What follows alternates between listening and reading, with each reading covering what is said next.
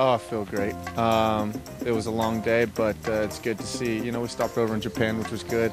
Um, you know, I, I, think we made a couple more stops, but I'm not sure what countries they were. I think we bounced over to Ireland, uh, Prague, and then we finally made it to Korea. But it's good to be here.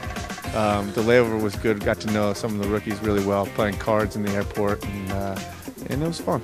Oh, I feel great. I'm so excited to be here, and I just can't wait for another day of double days. usually after training, we do ice baths. Out here, we really don't need ice baths because you're pretty much frozen. Um, so in that sense, everything's working out pretty good. I like the uh, aches and pains that come out when uh, you walk off the bus, and you know all your all your uh, old injuries seem to you know come back, which is great. This is heaven. Uh, your body doesn't hurt at all. The fields are nice and rock hard. Um, so that feels good in your back and your knee joints.